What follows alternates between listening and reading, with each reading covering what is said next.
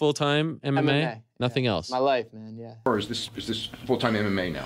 Uh, I love full time MMA right now.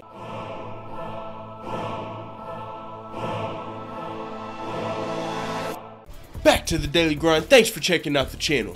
Make sure to hit subscribe if you're new and hit thumbs up if you're not a baby back pickle biting bitch boy, cause you know what time it is. It's full time. MMA. This is pretty interesting. Conor McGregor, the UFC's lightweight champion, and Tony Ferguson, the UFC's interim lightweight champion, have the same manager.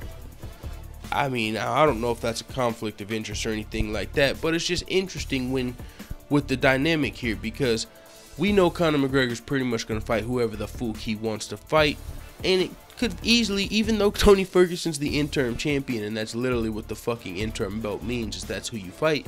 Conor McGregor could choose to vacate the belt and say, you know what, I want to fight Nate Diaz on St. Patrick's Day. I don't give a fuck about the belt. I'm the champ, champ, no matter what. I'm going down in history as the champ, champ. I headlined Madison Square Garden. I was the lightweight and the featherweight champion at the same time. I'm the champ, champ, Fuka belt. Go fight Khabib. He could say that. A lot of people would be pissed off and say, oh, he's never defended a belt. He's not a real champion. He's blee, blee, blee, blee, blee. And he would say, suck my big Irish balls. I'm fighting Nate Diaz.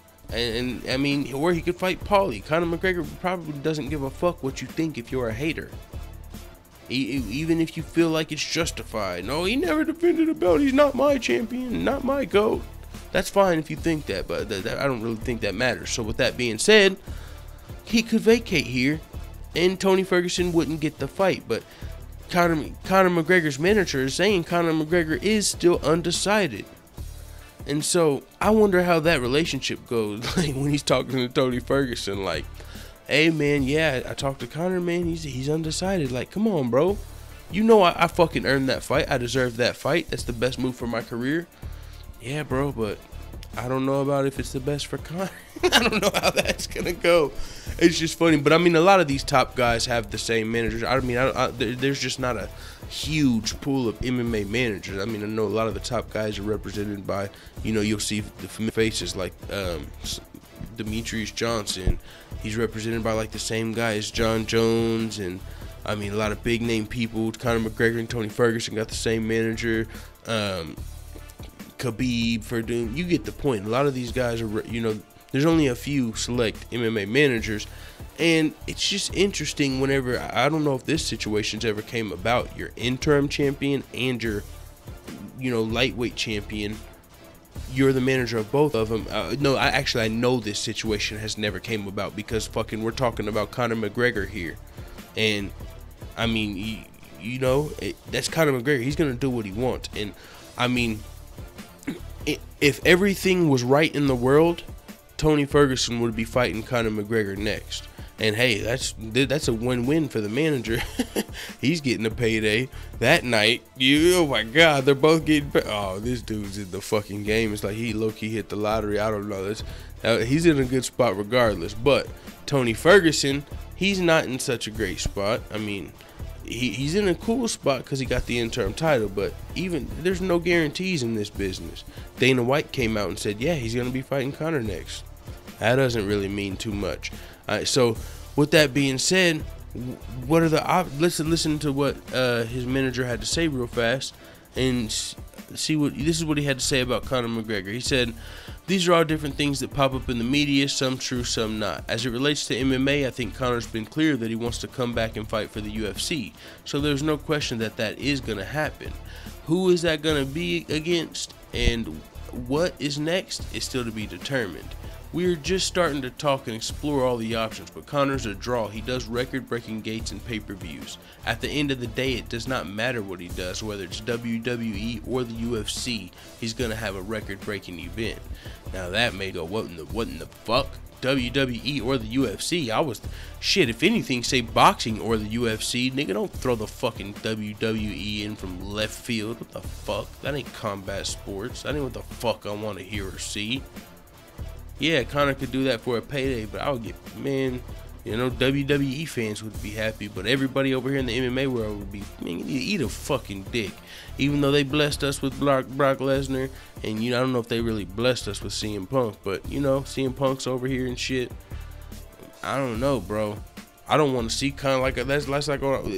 Would you watch a Conor McGregor fucking WrestleMania you know, the big show coming out, Royal Rumble, Conor McGregor throwing the big show. Nah, get the fuck out of here. I mean, I don't want to see that, bro, but ew, that came out of nowhere. Whether it's the WWE or the UFC, come on. Whether you should have said boxing, but anyways, he he he continued. He said, Tony came out victorious. I represent Tony as well as McGregor, so I was really happy for Tony to accomplish that. You have the trilogy fight with Nate Diaz. You have boxers like Manny Pacquiao knocking on the door. That's interesting. That's one of the options I didn't even consider. Manny Pacquiao. I was thinking Paulie over Pacquiao, but shit. Uh, he said Pacquiao. He said you got they got options if this nigga's reaching down to Pacquiao. But he said you got Pacquiao knocking on the door. I've said this before in many interviews. Conor has earned the right to choose, and the numbers don't lie. He is weighing his options. He is looking at all the different options and opportunities that there are for him, but there's no question that he wants to come back and compete.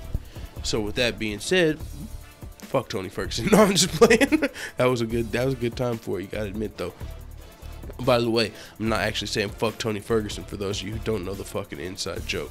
Um, with that being said, though, he does got fucking options.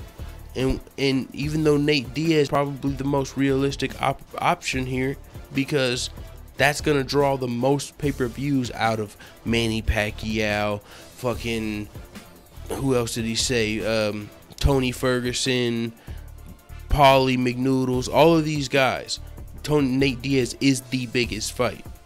And you have to kind of think Conor wants the biggest fight. But he does have other motivations.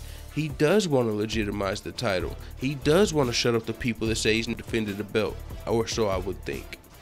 Uh, but at the same time, he might not. If it comes down to the motherfucking Benjamins, when it comes down to the money, he might say, hey, Nate Diaz, I'll sell two million pay per views. Tony Ferguson, I'll sell one. That sounds like motherfucking a champ champ decision. I'll take two over one. Fuck you, time, Matt. And just drop the belt right there and say, fucking Nate Diaz, I'll see you on St. Patty's Day, you motherfucking son of some of my bitch. But you know what I'm saying? He, literally, a lot of people are, are thinking about Conor McGregor vacating the belt as, oh my God, that would never happen. Conor won't vacate the belt. You're crazy for thinking that. You're, I, I disagree, and I think it's the opposite. I think you're crazy if you think Conor really gives a fuck about the, like, legitimizing the title over money, over money. Now I know he cares about legitimizing the title, but when it comes about, hmm, Conor, what's more important to you? 2 million pay per view buys or shutting up some people that are probably still going to find a reason to hate on you. If Conor McGregor beats Tony Ferguson, do you think fucking Super Trash talks about him tomorrow? Do you, do you think he's still making videos? Oh, he's still in, the, even though he beat Tony Ferguson, he's still in the Illuminati. He still fucking is a bad parent. He still fucking is he dodged this guy. He's still not the champ champ because he's got one belt. He's still fucking. There's still going to be Conor haters after he defends the belt. So, nigga, I'm taking my two million pay per view buys, and y'all can eat a dick. And then I tell you what, after I fight Nate Diaz and sell two million pay per views, how about I come take my belt back? Because that's an option. Or how about after I fight Nate Diaz, you know why Tony fights Khabib? How about after I fight Nate Diaz, I fight motherfucking GSP? Mm. Now, now, Nate Diaz and then GSP and then off into the sunset, or maybe one more fight. Or do you want to fight Tony Ferguson and then Khabib or Tony Ferguson and then Justin Gaethje. That would be dope. I do want to see Conor McGregor versus Justin Gaethje, yo. That maybe that could be his fight after GSP, but everything's got to go right for the GSP fight to happen. That might not happen, but that could happen. You know what I'm saying? What Conor McGregor could wait to see what happens in this G. What if what if GSP wins over Michael Bisping and calls out Conor? Conor, I will meet you at 170 pound, and I will show you the real champion of the UFC. Because now my stock is higher than your stock in the stock market. I had to say stock market. All right. You get the point, man. There's so many options for Conor McGregor, dog, and his manager knows it. And even though he represents Tony Ferguson, as well, Tony Ferguson's got to know it too. Tony, you might want to be starting to prepare for Khabib because there's a lot of shit going on in Conor's world, and there's definitely no guarantees. I mean, with that being said, it is what it is. I personally want to see Tony Ferguson versus Conor next, but that's because I fucking like MMA and I'm a hardcore fan. But I also understand if it doesn't happen like completely. I mean, I want to see Tony Ferguson happen next, but I predict somehow there might be Nate Diaz, man. It is what it is. Let the hitters know what the fuck you tell me in the comments. And hey, I also am the same guy that predicted uh, Conor McGregor versus Floyd Mayweather wasn't gonna happen. so who gives a fuck what I predict? And when, when it, and let's talk about my motherfucking UFC predictions. Put, put some respect on my predictions. And motherfuckers be on fleek. But with that being said, it is what it is. Let the hitters know what the fuck you tell me in the comments. I'm out.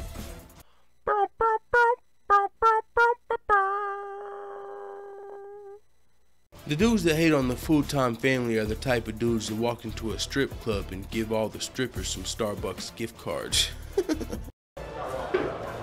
Bye, Felicia.